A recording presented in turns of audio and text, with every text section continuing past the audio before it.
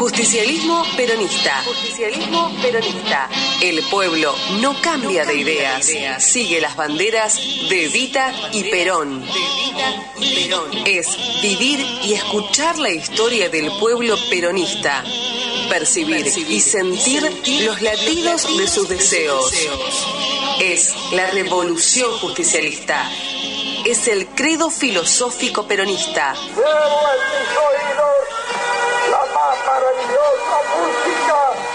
Para mí es la palabra del pueblo argentino.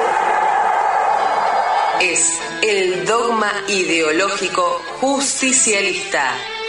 Es el pueblo de Perón, un pueblo de tercera posición justicialista. Buenas tardes, buenas tardes a todos y todas, bienvenidos como cada martes a partir de las 15 horas en Justicialismo Peronista. Bienvenidos compañeros, compañeras como dijo la locutora, si querés mandar un mensaje, comunicarte con la Asamblea Radial de Radio Rebelde, mandalos al 11 2690 8496 o bien también al 6227 1972, que es nuestro teléfono de producción. Em, también podés seguirnos por la señal abierta de Radio Rebelde eh, en el dial de AM 740, ¿sí?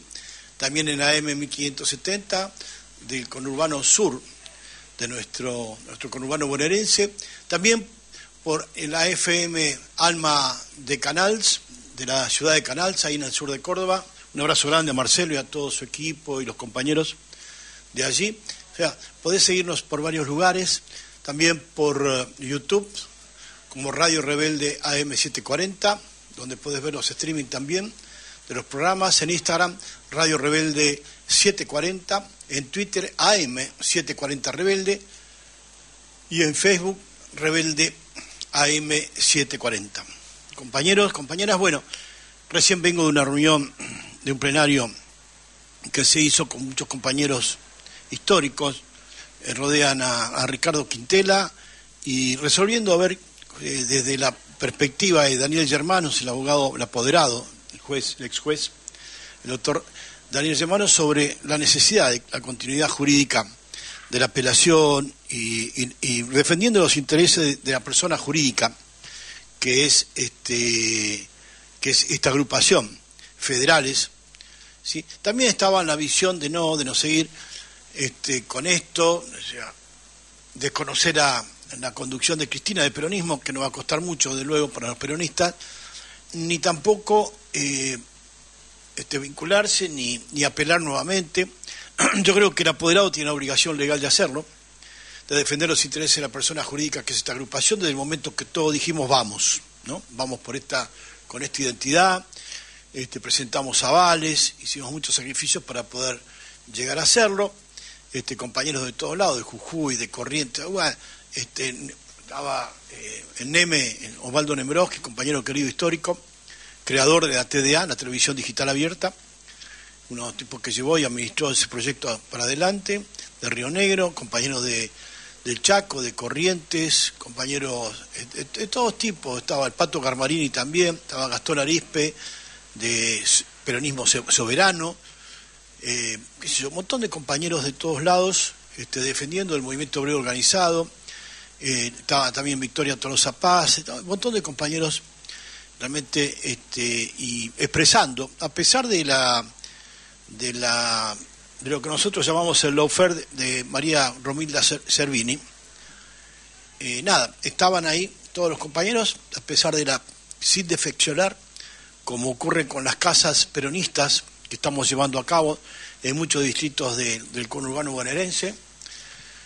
de estos 24 distritos que pensamos cubrir y donde ocurre la, madre de todas las batallas electorales porque representa el 36% del padrón y entonces este, es muy importante que nosotros vamos a buscar a los, a los vecinos, a militar con los vecinos este, en cada barrio para que den testimonio, para que traigan su propuesta política, no su demanda social, sino su propuesta política, y entonces de esa manera eh, tener un panorama más concreto y tener y dinamizar este, esto que es el, el territorio humano, la preparación humana y técnica del proceso político, que varía minuto a minuto.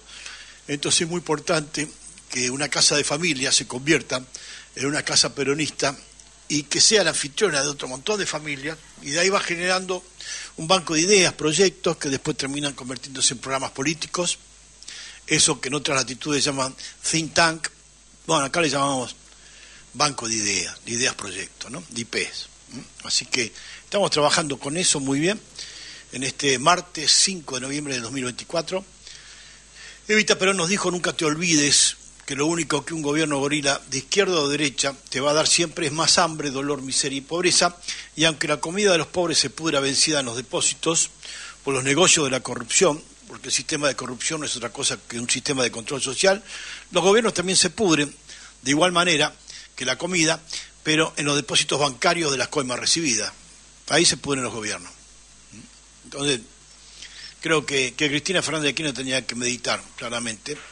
Cuando Ayer estábamos en algún, algunas, algunas casas peronistas de Morón, de, también de Almirante Brón, y la gente no decía, no decía, este, si Cristina que sufrió el lawfare pareciera que se ha convertido en una especialista en lawfare, ¿no?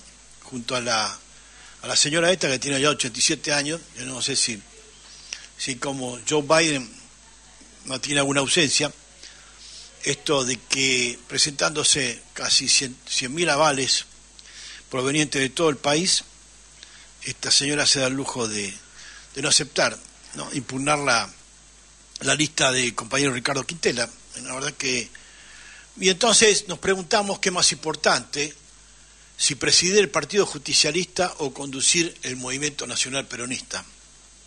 Vaya a saber, en la cabeza trasnochada de una señora que más socialdemócrata no puede ser, a las órdenes de los socialdemócratas de la región, se puede dar la mano con Lula, que vetó nada más y nada menos que al compañero Daniel Ortega de Nicaragua, cuando Nicaragua se iba a construir el segundo canal más importante de Centroamérica para reemplazar el canal de Panamá, lamentablemente putrefacto en las manos de los yanquis, entonces iba a ser un canal que tal vez tuviera una anchura de casi un cuarto del Río de la Plata para que transitaran y se especializaran buques de carga este, cruzar el Pacífico y hacer transferencia y logística en un gran puerto que se iba a construir también en Cuba y de esta manera sacar a Cuba de la situación agobiante de su economía, a pesar de haber resistido con absoluta soberanía política más de 60 años de bloqueo inútil de los burros cuadrados, de los burros cuadrados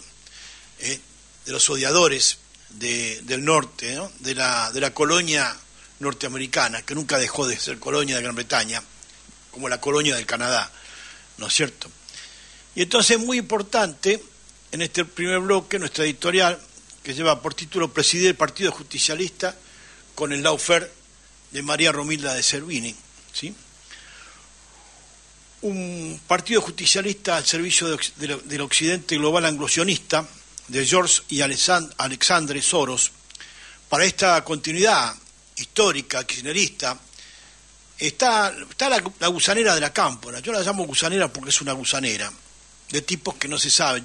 tal vez yo imaginaba de acá, de acá a máximo Kirchner se podrá juntar con Alexandre Soros a hacer campeonato de PlayStation, como, como milagro de unidad política latinoamericana o americana, ¿no? Hacer unos campeonatos de PlayStation. ¿sí? Y para esto para eso golpea a Cristina, siempre en el lado equivocado de la historia. No creo que se haya dado cuenta que en algún momento representó al, voto peronista. Siempre en el lado equivocado de la historia, colocando a liberales, a socialdemócratas, primero Daniel Scioli, después con Alberto Fernández. Eh, Amado Vudú, si seguimos, este, qué sé yo, este, Martín Lustó, eh, Diego Bocio. Le puedo armar la lista de todos los liberales que pasaron por el gabinete de esta señora, muy pocas veces un peronista, excepto Osvaldo Nemerosi, que recién lo vi ahí, querido Osvaldo, y ahora, o, como diputado nacional, también Gastón Arispe, que hizo muy buena tarea, y ahora, y siempre buscando el territorio como forma de, de, de, de, de transmisión de su tarea legislativa o de la tarea ejecutiva de muchos compañeros que cumplieron funciones, o el Pato Garmarini, cuando hablaba que en una cumbre del Movimiento de Países No Alineados, el aplauso más cerrado, más grande y más importante cuando se nombró Juan, sonó cuando se nombró Juan Domingo Perón. Y ahora como en tiempo de maulas y malevos, ahora que son tiempos de maulas y malevos, sirve como estandarte de supuesto blindaje político para amedrentar la posible condena. Fíjense, fíjense cómo es esta historia, yo creo que no la, no la cité recién en el plenario, pues me parecía una falta de respeto, ¿no? Este, después de todo, este, podemos considerarla, o podemos darle la bienvenida como compañera, si, se le ocurriera así, hacer un llamado profundo a la imaginación, podríamos hablar de eso, ¿no? Pero fíjense que, y ahora, como en tiempo de maulas y malevos, sirve como estandarte de supuesto blindaje político, esto de presidir el Partido Justicialista, para amedrentar la posible condena que dicte la justicia, pedorra, al circo mediático del proceso judicial de, Cristina Fernández de Kirchner, cuando confirmada la sentencia de la primera y segunda instancia, o sea, la primera instancia eh, del juez donde se procesó, se dictó el procesamiento a Cristina, y ahora en la Cámara, que confirma la misma, la misma sentencia, le dicta en condena cuando confirmadas las sentencias de la primera y segunda instancia, podrán proceder a dictar una condena de seis años en prisión domiciliaria. El fiscal pidió doce, pero pongamos que arreglemos por seis. Y entonces, rememorando una imagen actual, vulgar y berreta, intentarán decir y pregonar que como ocurría en los 18 años de exilio de Juan Domingo Perón, en aquella quinta 17 de octubre del barrio Puerta de Hierro de Madrid, estaríamos exiliando, o ¿no? Eh, estaría en el exilio, detenida la jefa del peronismo proclamada por no el pueblo argentino y peronista, sino por la oscura jueza María, María Romilda Servini, de 87 años, con la misma claridad psíquica que Joe Biden, vio que cuando a veces termina de hablar busca fantasmas que le dan vuelta por ahí, y entonces Cristina Fernández de Kirchner estaría exiliada cumpliendo prisión domiciliaria por condena de un delito penal en la quinta de Ñato, qué sé yo de quién, del Cabezón, en el barrio La Mondiola de Quilmes, donde con la guardia de la gusanera de la Cámpora, ahí tienen la intendenta, ¿no? Otra chica que tiró la historia por la, por la ventana, estarían desfilando todos los lacayos que aún viven en la desesperada necesidad del pueblo de sobrevivir un día más cuando muchos pibes cada día, cada día, se mueren por desnutrición. Según la UNICEF, 2.850 pibes por año. Y este ya no es un partido justicialista al servicio del movimiento nacional peronista, como herramienta electoral, donde se juega el destino de la vida de la revolución justicialista y como pueblo heredero histórico de la sucesión de Juan Domingo Perón, necesitamos conducir los destinos de la patria y luego lo del movimiento nacional peronista. La opción histórica sigue siendo la misma, liberación o dependencia, y eso expresa y representa el compañero Ricardo Quintela, el gobernador de la provincia de Rioja. Por eso la gusanera lo persigue y combate con esta, con esta señora de 87 años, cuando la única unidad partidaria robustecida y en consolidación es el movimiento nacional peronista, no el movimiento nacional, este, los movimientos, no, no, no, el movimiento nacional peronista. Ya volver a, la carga con los movimientos sociales y con la limosna de vuelta en lugar de trabajo es bastante, bastante complejo. En la vida de Juan Domingo Perón, el Partido Justicialista eh, no fue otra cosa, fue una simple herramienta electoral sin mayor importancia. Y vean ustedes lo raro de esto, la, la contradicción, el paradigma histórico. Un partido impuesto por el gobierno de Agustín Lanusse, imponiendo una guerra cognitiva, una guerra, una guerra de conocimiento para opacar la definición de la revolución justicialista. Y trastocar el nombre de revolución justicialista por partido justicialista, ¿se entiende? Básicamente, ¿qué querían tapar o, o esmirillar o limar? La definición de la revolución justicialista y su tercera posición en el plano político internacional, la tercera posición justicialista. Esto fue para eso el PJ, creado en 1972 por los militares liberales esclavos del Pentágono, la, la CIA,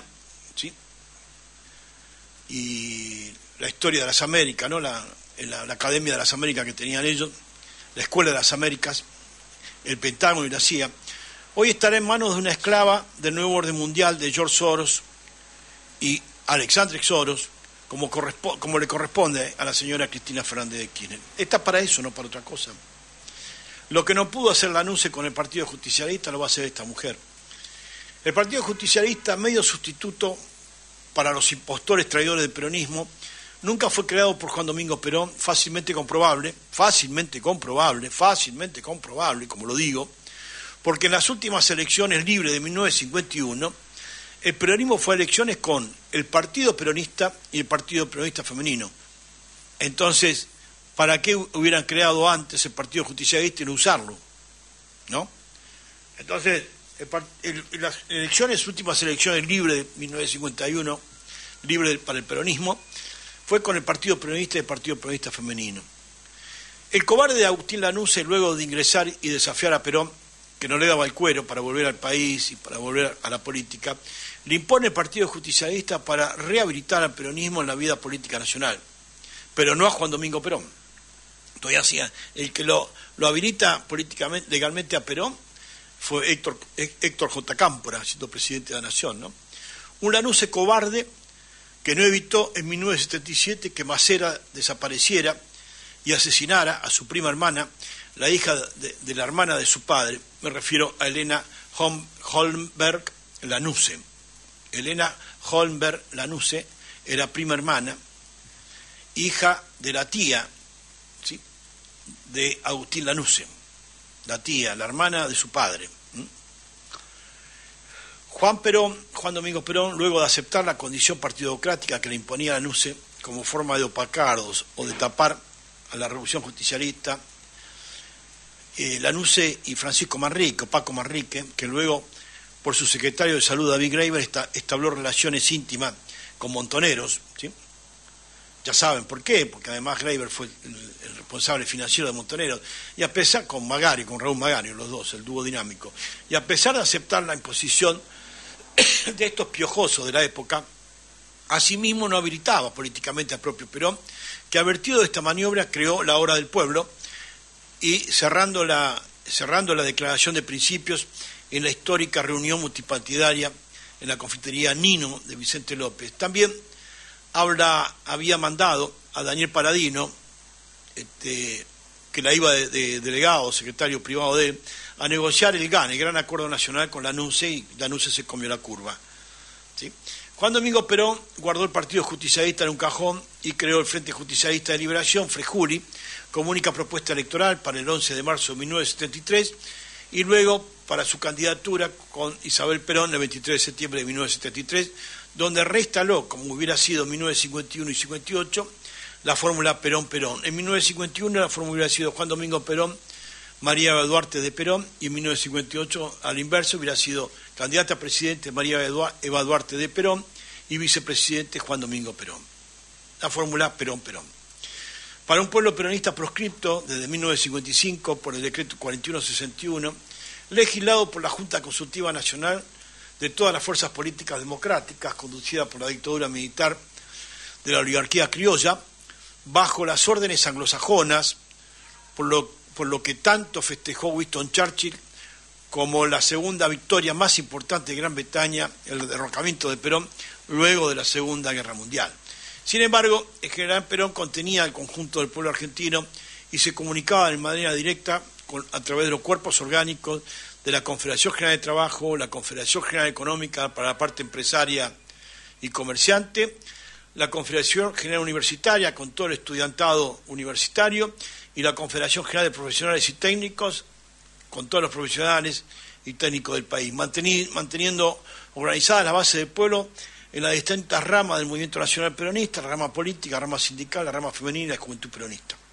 Muerto Juan Domingo Perón hace 50 años hoy, este año, el Partido Justicialista tendría que haber, haberse convertido en un partido de masas para seguir institucionalizando al movimiento nacional peronista, formador de cuadros políticos provistos por sus ramas, como una importante participación de la juventud peronista, convocando el pensamiento nacional justicialista de los hombres y mujeres de las culturas, las economías, la ciencia, las industrias, de nuestra diversidad nacional, a través de nuestros cuerpos orgánicos, con la participación vertebradora federal del movimiento obrero organizado, un partido justicialista subordinado al movimiento nacional peronista como única organización partidaria, generador de políticas de masas que dialogue con los grandes partidos del mundo, muchos de los cuales adoptaron la tercera posición justicialista como teoría de Estado, entre ellos los principales partidos que hoy conducen el BRICS, que es el eje directriz del nuevo orden mundial,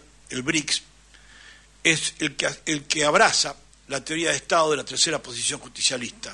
No se llaman engaños.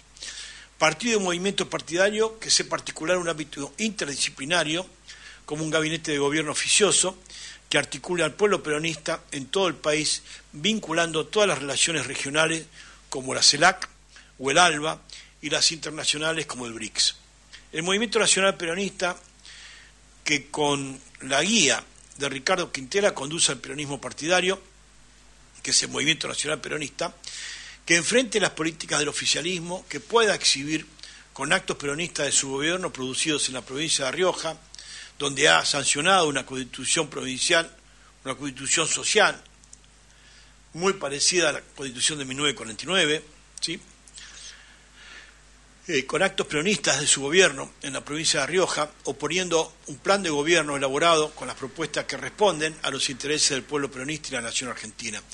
El hecho de no haber superado nuestra etapa gregaria para conducir el peronismo por su organización, que pidió Juan Domingo Perón incorporando la institucionalidad a, nuestra vida política, nos hizo cometer muchos errores y vicios que condujo con destreza al poder anglosajón, como esclavo del occidente global anglosianista, que como cabala Harris en USA, instala, instala y berretea el peronismo con Cristina Fernández de Kirchner por sentencia de una anciana que ya no está en uso de sus plenas facultades, de 87 años de edad como jueza para administrar justicia eh, de competencia electoral a nivel nacional. Es una locura.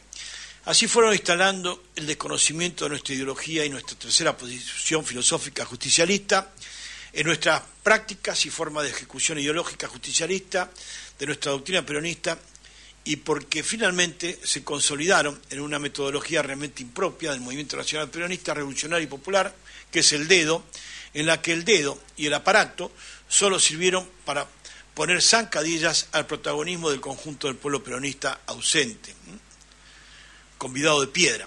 El kirchnerismo y la progresía kirchnerista de Soros, en la demostración más evidente y perversa de esta metodología de construcción política, hasta hoy hemos desandado al pueblo notablemente con propuestas progresistas y liberales de la izquierda socialdemócrata que ya fue rechazada por el pueblo en las elecciones de 2023, ¿sí?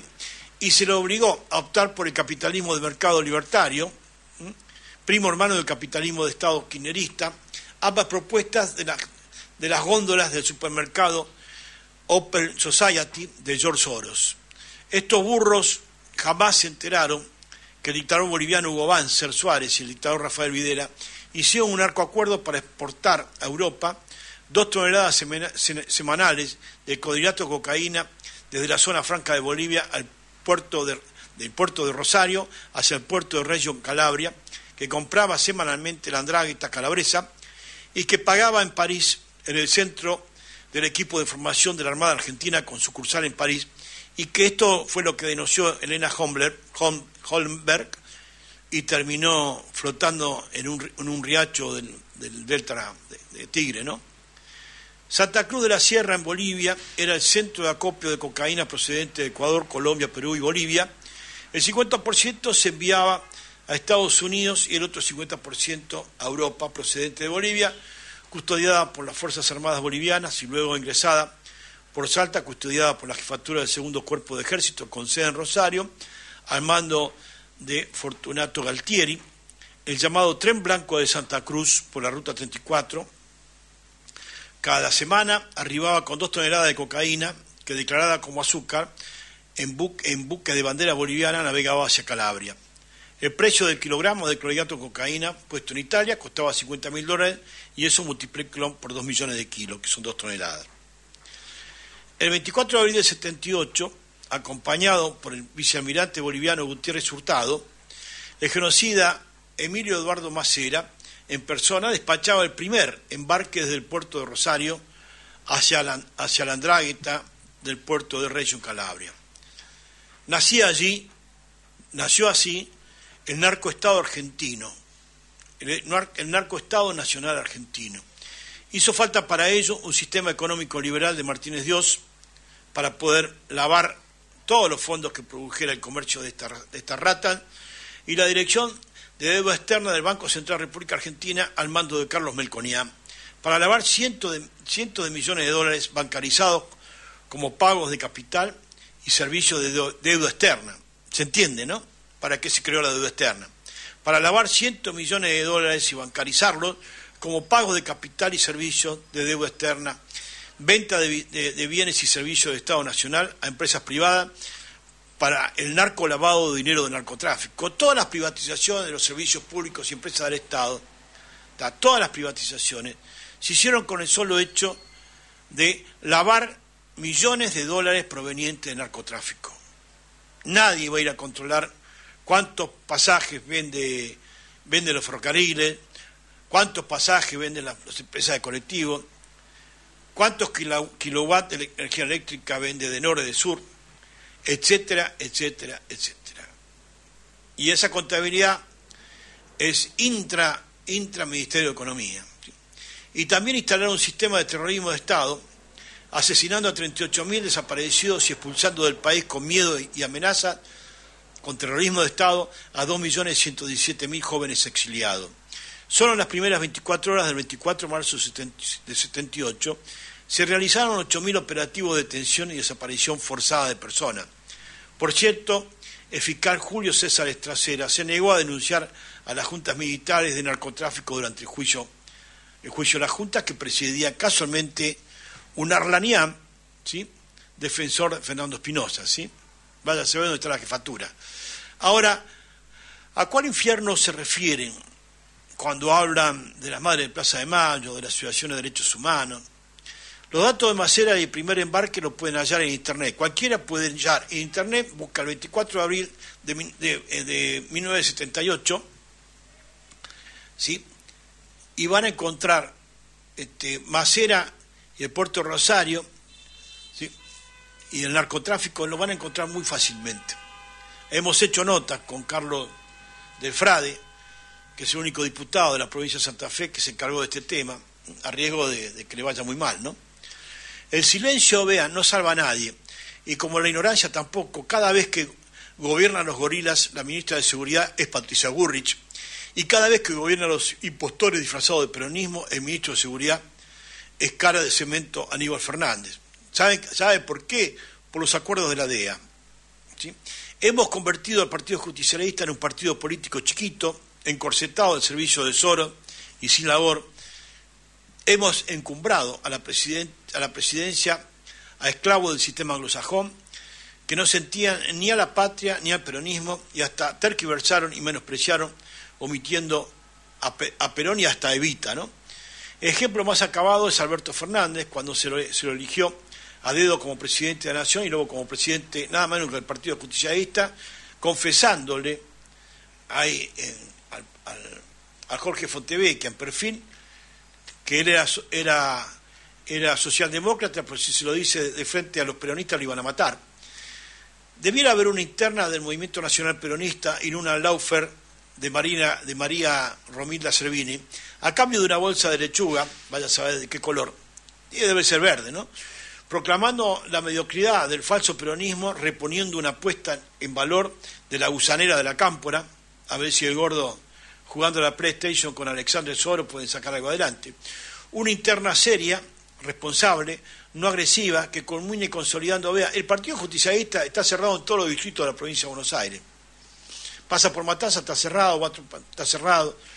Una interna sería necesaria, responsable, no agresiva, que conmuñe consolidando una unidad inquebrantable como Movimiento Nacional Peronista. Vean, los vecinos, nosotros trabajamos con casas peronistas que son unidades de militancia, de casa de familia, cada nueve manzanas, y los vecinos siempre traen propuestas, dan testimonio, quieren dar, dar testimonio de lo que piensan, de lo consideran prioritario para el barrio, y participa todo el mundo. En los lugares más humildes, los ranchos más humildes de la villa, como en los barrios más agraciados de, San Isidro, de Tigre, de San Fernando, en fin, de Loma de Zamora, de todos lados, producto de la unidad de concepción para la unidad de acción que siente el pueblo cuando aparece un peronista que además no solo lo expresa con, de palabras, sino con los hechos, donde el consenso sirva para que lleguen las nuevas y mejores ideas, fortaleciendo nuestra organización interna como único movimiento nacional peronista, entonces el Partido Justicialista tiene la posibilidad de reestructurarse para ingresar al movimiento partidario como organizador superior, como decía el general Perón, con otra ética y otra moral.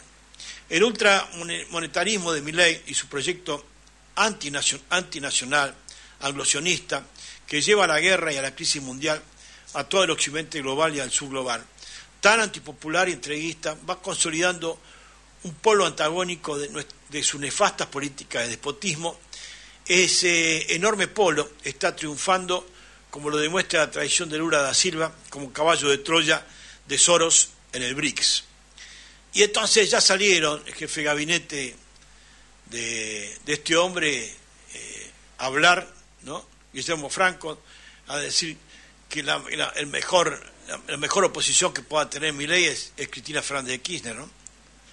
Los argentinos, aparte que fue Guillermo Franco, fue director argentino del banco, en el BID, Banco Interamericano de Desarrollo, nombrado por designado por Cristina y nombrado por Alberto Fernández, no se equivoqué, igual que Martín Guzmán, lo designó Cristina, no, no, no, porque era amiguito de... Eso, todo, eso estará boludeces para la, para la tribuna. Los argentinos, menos aún los peronistas, no podemos tolerar un caballo de Troya que posee conductas esclavas de Soros, con la general Laura Richardson, que se juntó con la general Laura Richardson una hora y media, o cinco horas en la Fundación Mediterránea con Carlos Melconian, que no articuló nada opuesto a las políticas del oficialismo con un instituto patria que no existe. Yo le puse a mi perro, porque cuando la acaricia me dice, ¿hace algo? No, nada. ¿Y cómo se llama? Instituto Patria. Entonces digo, a eso me refiero. El candidato natural al gobernador que demostró actos de gobierno peronistas en los hechos concretos de la provincia de La Rioja, casi naturalmente se convertiría en un gran frente nacional cuyos términos básicos de unidad política serán los de un plan de política peronista, de política económica, en un país productivista e industrialista, un plan de salvataje público nacional con crecimiento y desarrollo, generador de la capitalización nacional mediante el trabajo acumulado por riqueza publicidad con valor agregado, con fuertes acuerdos con los países hermanos de la región y el BRICS, y nos coloque ante el mundo con una clara concepción multilateral peronista. Esta realidad que inexorablemente se precipita nos debe encontrar incorporados a la postergada etapa institucional del movimiento nacional peronista, porque el peronismo debe jugar un rol vertebral a ese gran frente electoral nacional como lo es, lo es y fue el Frente Justicialista Liberación. Necesitamos liberación nacional, compañeros, de una vez por todas. Liberarnos de los grilletes y las cadenas de Mirai, pero también del kirchnerismo, de una vez por todas. ¿sí? En esta nueva etapa organizacional con una metodología que dinamice la participación de todos. Es así donde el rol de Ricardo Quintela y todos los compañeros que, lo acompañan, con experiencia en la acción de gobierno peronista y en la militancia y en la conducción peronista, se potencien y puedan expresar la enorme capacidad adquirida, pero siempre acompañados por todos, por todos los vecinos, como nos toca a nosotros articular eh, la presencia en los 24 distritos del conurbano bonaerense y el AMBA, ¿no? o sea, en la, en la cava. Estas internas ya han sido superadas en la gusanería de los, dineros, de los dineros mal habidos que tratan de imponer con la soberbia de los burros y las brutas la agenda del jefe George Soros y el, el capataz Alexandre Soros. Tal vez armen con máximo un torneo continental de PlayStation, así la gusanera de la cámpora ingrese a la Fundación Open Society como miembro, como miembro pleno, digo yo, ¿no? Hagamos una una pausa musical, un tema cuyo autor es Chico Novarro, eh, cantada por una pareja de, de tango extraordinaria que forman parte de la Orquesta Romántica Milonguera, y escuchemos entonces algo contigo. Gracias.